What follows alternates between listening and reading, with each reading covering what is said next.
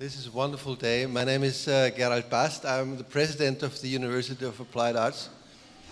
Proud to be the president of a university who is dealing with uh, change.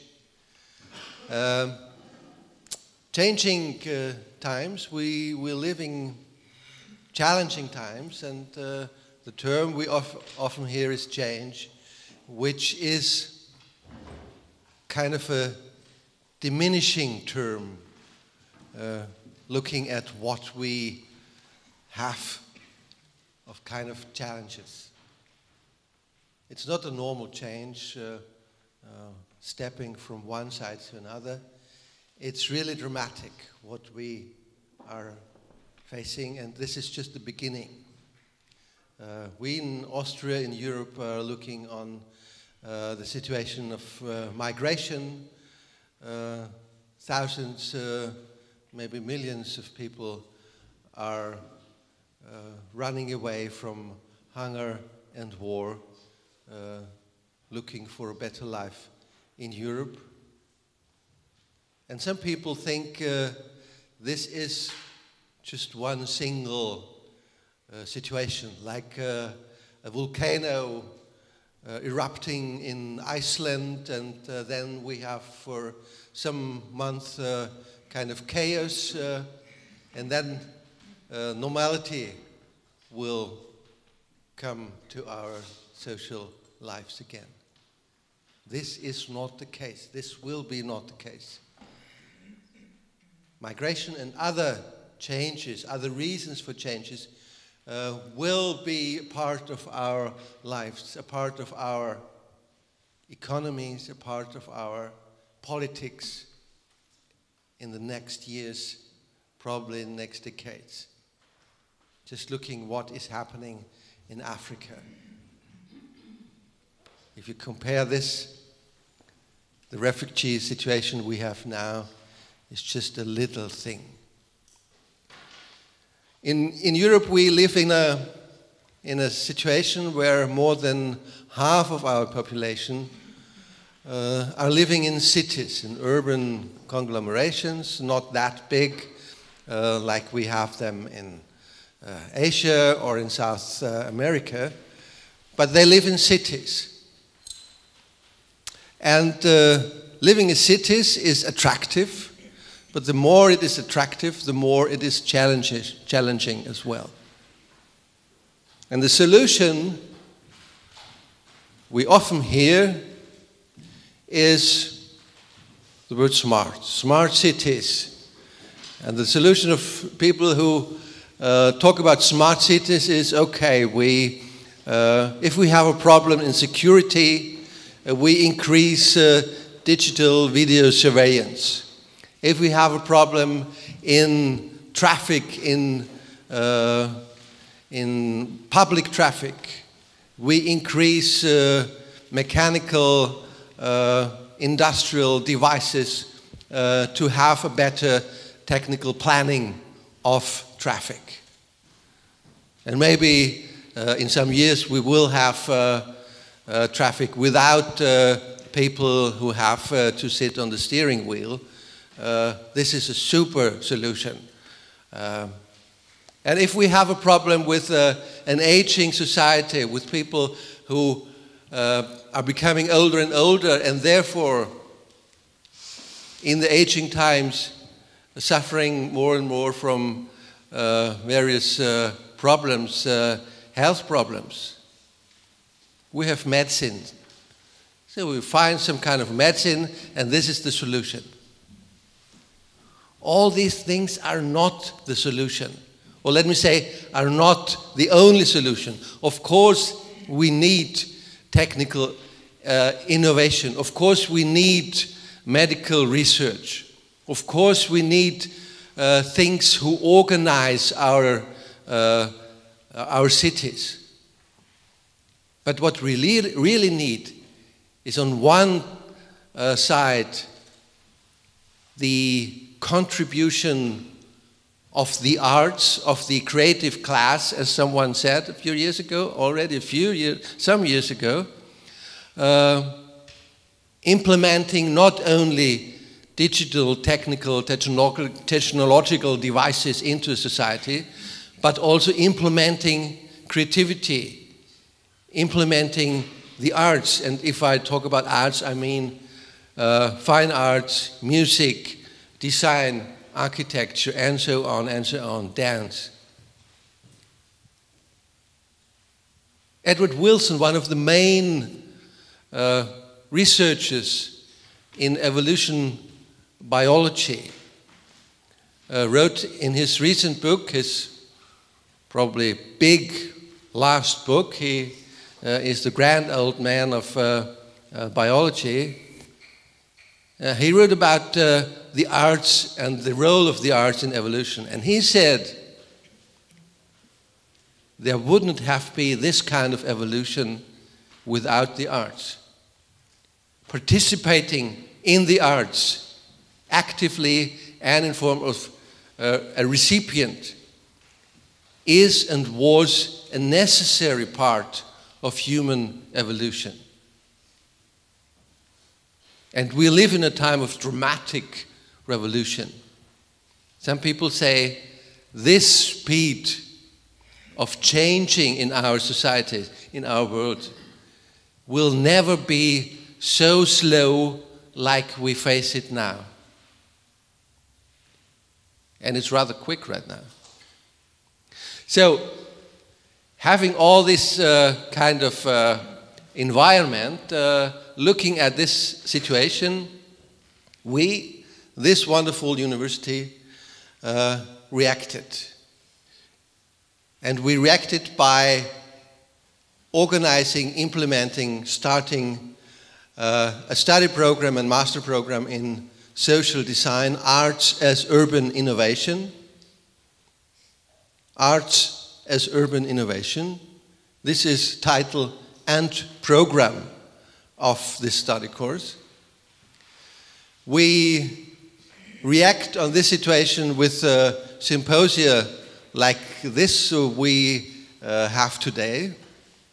And I'm really proud uh, to say that uh, this afternoon a new initiative will start, organized by the University of Applied Arts. Looking at this recent situation of migration problem, we call it, and it's called in, in the media.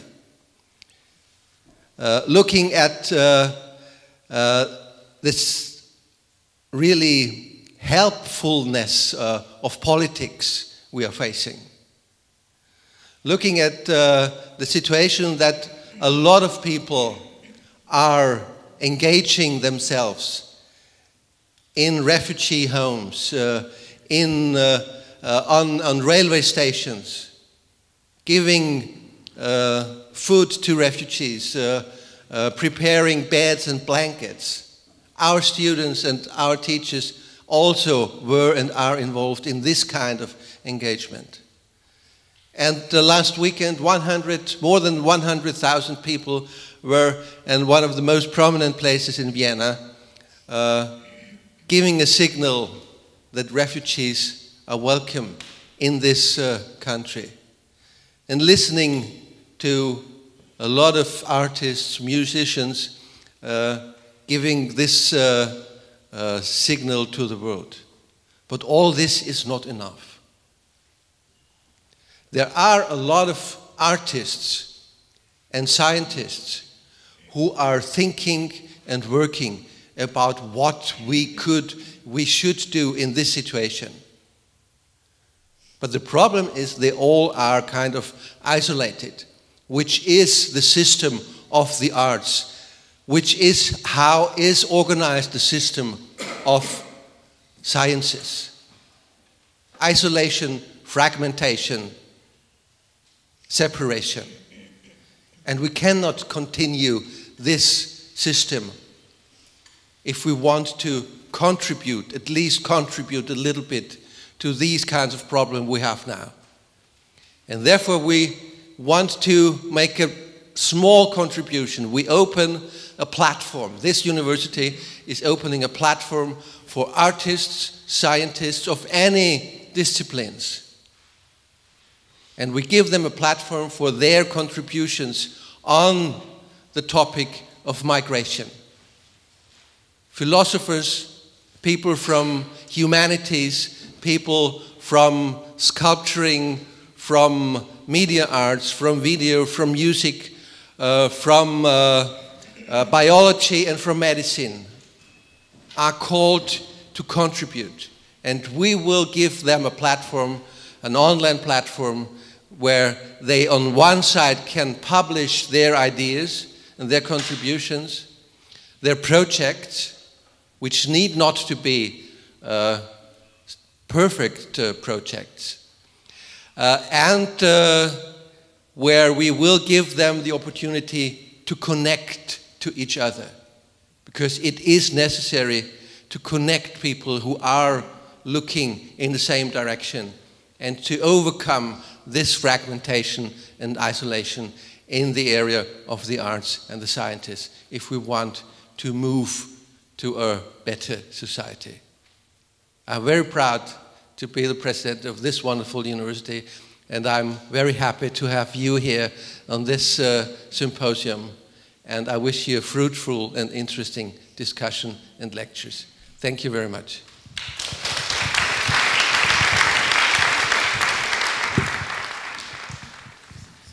Ladies and gentlemen, dear colleagues and friends, th thank you, Gerald, for the introduction. Um, I think when we started to program um, this event, um, and Gerald was actually addressing it uh, right now, is that we didn't expect this fast pace of change we're actually facing uh, right now. So um, I think what we can see, and we strongly believe, that we are actually facing, uh, let's say, tremendous turnovers. Uh, we have been facing last time by entering, let's say, the industrial area. So, I'm really delighted to welcome all of you to our second international symposium within the social design framework um, entitled Urban Change. It is the follow-up symposium uh, of public action. And it is really with great pleasure that we again welcome several distinguished and inspiring scholars and practitioners. They came all the way from US, China, and Europe to join us as speakers at our symposium. Oh, sorry, I moved something.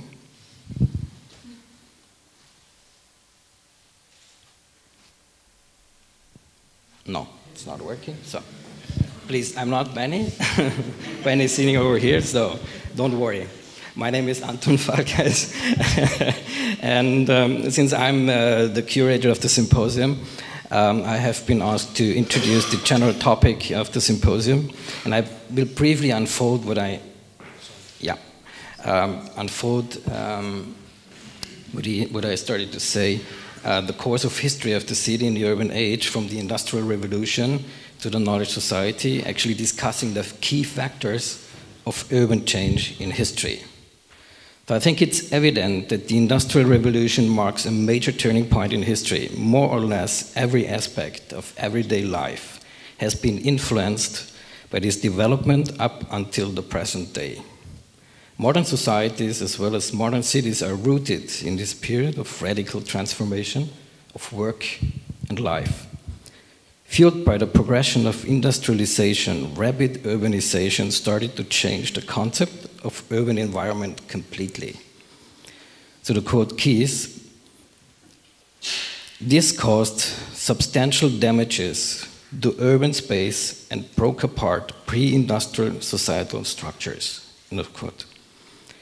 Establishing this production process as a core value empowered uh, the linearity of progression and sort of unraveled complexity into a chronological order. So this means consequently linearity was established as a fundamental principle, crucial for all transformations to follow integrating large-scale technological inventions into the production chain actually significantly changed the production routine. As a consequence, spatial concentration of labor established a new type of urban structure, what we used to call the industrial plant. So this means that site and location evolved as the essential criteria. Traditional production techniques defined by spatial coexistence of life and work actually dissolved into spatial dissected concentrations of monofunctional activities. Executing this strategy on an urban scale led to a yet unknown and radical segregation of urban life. Thus, isolation and exclusion evolved as core policies of the functionalist city. Organized alongside linear processes, the city developed, followed, the, the city development followed the path of a solely economical practice. And this urban model gave birth to one of the main consequences of the modern world mobility. So, by means of technology, of technological invention, so to say, it became feasible to increase the velocity of movement.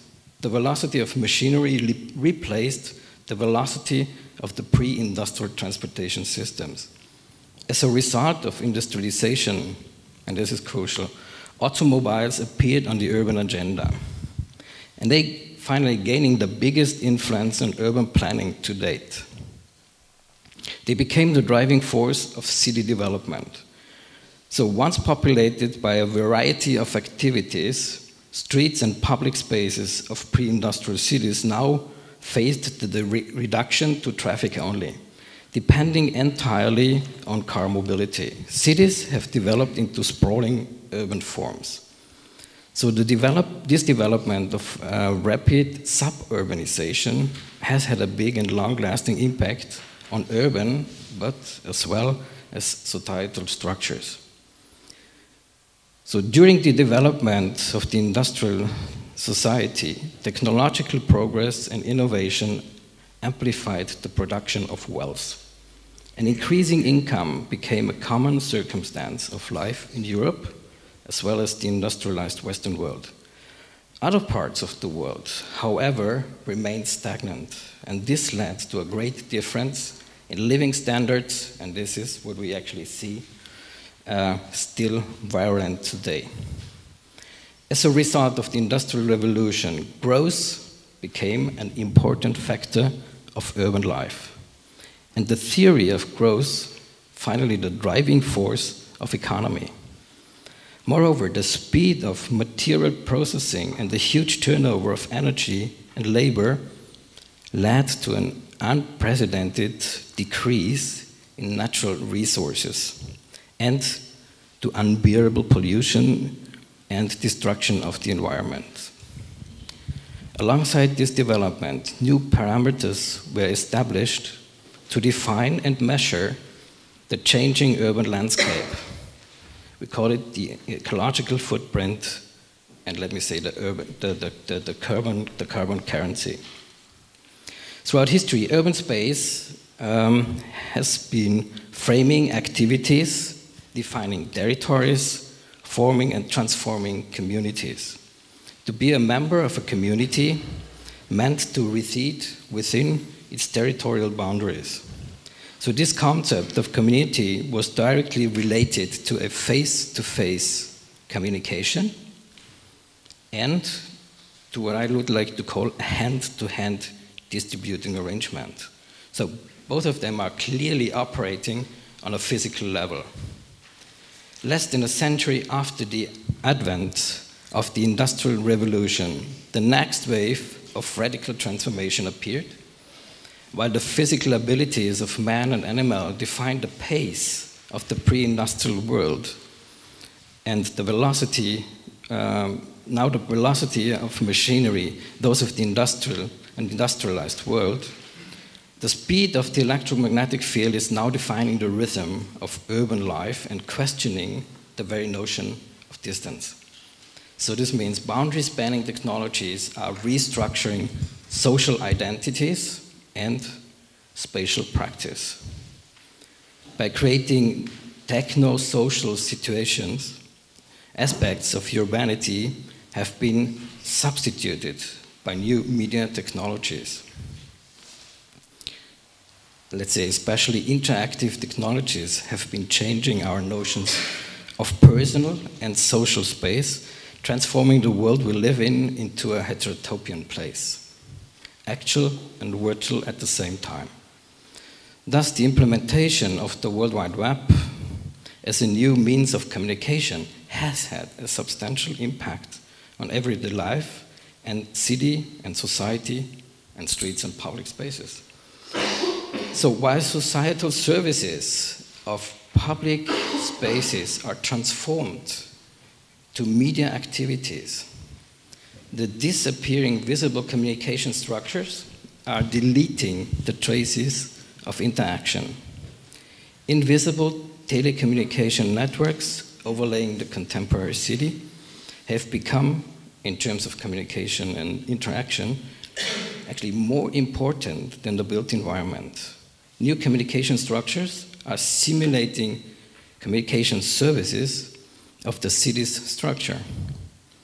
So this means street and public open spaces, the, let's say the key elements of the European city, are fragments of a visible communication. So they are spatial notations of a face to face communication behavior. However, extensive and rapid developments in the area of information, capital, and population have led to the emergence of a new social and societal formation. We call it global cities. Digital technology and social logics can, according to Saskia Sassen, produce a third condition that is a mix of both. Structured in electronic space, we call it digital formation. Digital formations are co evolutions of organizational forms and interactive technologies. They are managing the shift from hierarchical, bureaucratic concept of mass production as well as mass media to networked forms of production and communication. This shift from brokering knowledge to facilitate, from brokering information, sorry, to facilitating knowledge indicates the, uh, the transition from an information society to what we could call a knowledge society. And this concept of the knowledge society emphasizes immateriality and specific intangible features of products and services in economic progresses, and of innovation in particular. So, to quote the European Commission, innovation is our best means of successfully tackling major societal challenges such as climate change, energy, and resource scarcity health, and aging, which are becoming more urgent by the day. Therefore, our future standard of living depends on our ability to drive innovation into sustainable products and services, social processes, and models. End of quote. So, since the basic function of knowledge is to provide the capability to act, the Knowledge Society is asking for new conditions of knowledge production, new channels of knowledge diffusion, and new methods of knowledge utilization. Today's societies are facing an urgent need to manage such processes by new and more efficient ways of information processing and knowledge production. As a consequence, how cities perceive the modern, uh, our society, sorry, how society perceives the modern world is increasingly defined by theoretical knowledge. But knowledge, unlike information, cannot exist independently of, um, of a subject. It is primarily represented in science, technology, and innovation. It has taken over the place of industry and agriculture as a key factor in economical and urban development. So, once again, rapid advances of technologies are sort of restructuring and redefining communities and markets. Again, to quote Saskia Sassen, Just as industrialization served to disadvantage rural areas, so too might the global information economy in the future cities, which benefit greatly from economies of agglomeration, will have an even greater advantage over non metropolitan areas than they have today. End of quote. Now, urban change has become synonym for global challenges in the urban realm. Water shortage, energy scarcity, climate change, global poverty, or refugee crisis, how the media tries to call it, just to mention a few of them. All these concerns are colliding head on in urban agglomerations. Since cities in general are condensed descriptions of urban life, consequently, they are focal points of global challenges too. They are complex systems that can no longer be understood as spatial entities. They behave more like living organisms. Like amoebas, today's cities grow and shrink under the conditions of continuous change, where the rigidity of form and program has been replaced by an open system in which growth provokes conflict and disorder, and ultimately change. So, cities and living organisms such as amoebas share the capacity to establish an ephemeral physical integrity while remaining unstable in their basic conditions. However, this let me call it biological vision, is unfortunately not the vision that has been guiding our contemporary city development so far. Urban growth in the 20th century city planning did not involve models of interaction. It was not at all expected to be evolutionary. City development so far was not based on strategies similar to those employed by living organisms. Therefore, the, the planned city was unable to operate different activities simultaneously. On the contrary, I would say segregation, fragmentation, and exclusion are the precise countermodel of a system where diversity provides the resources for change.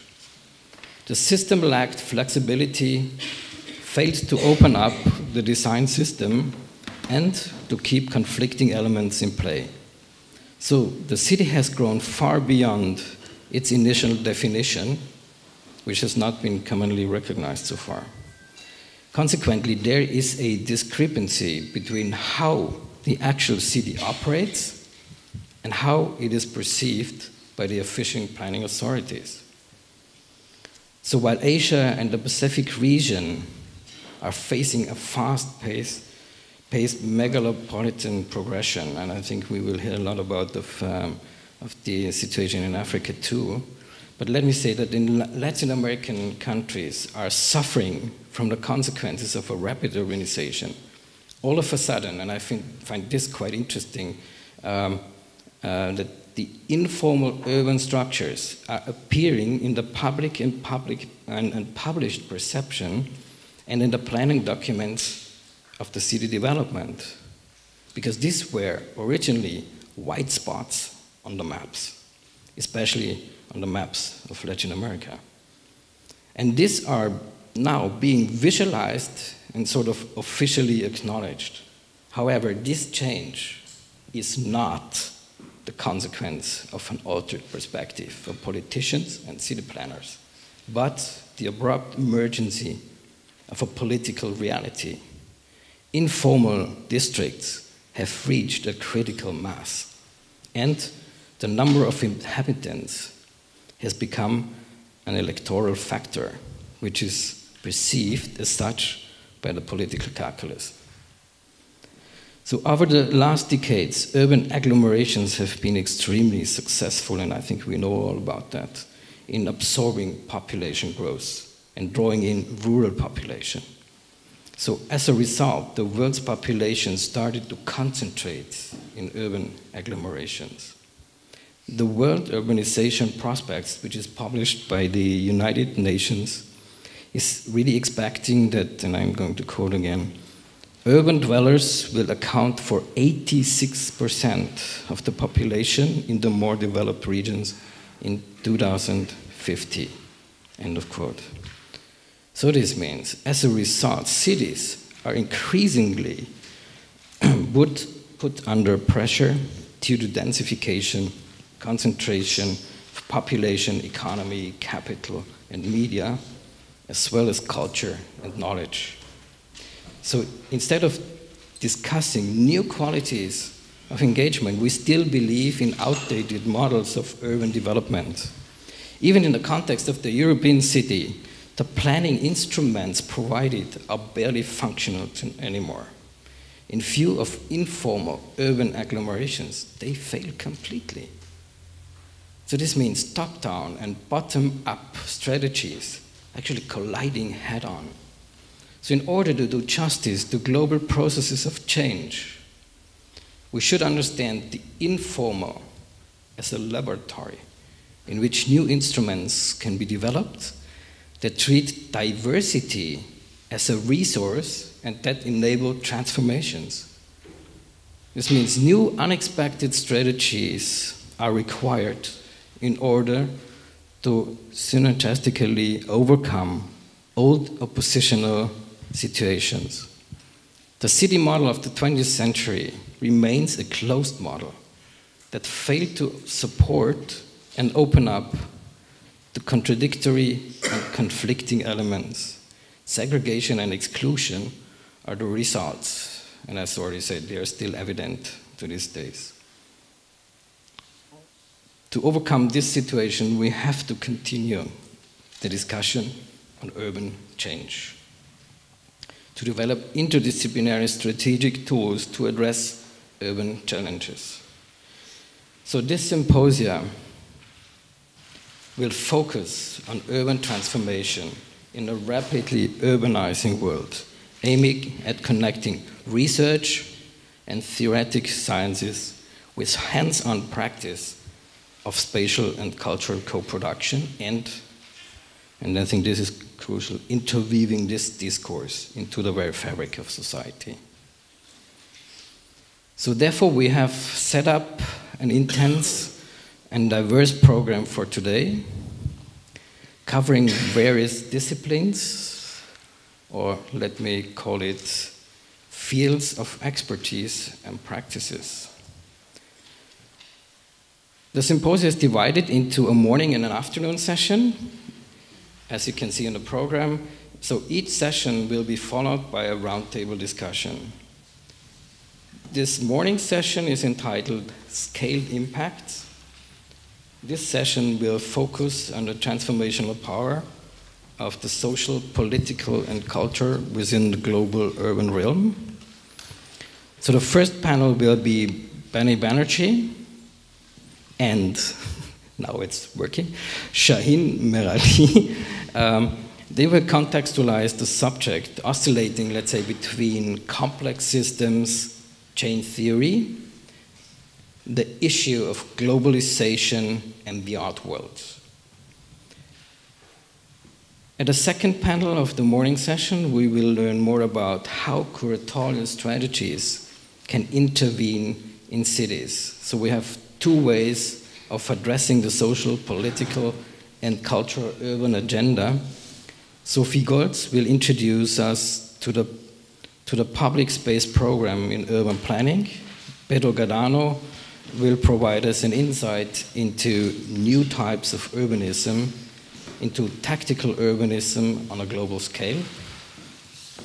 In the afternoon session, we will discuss new conditions of the urban transformation fueled by public interventions and social inclusion.